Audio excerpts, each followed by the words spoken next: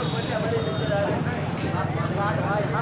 साथ भाई का साथ चलना रिश्तेदारी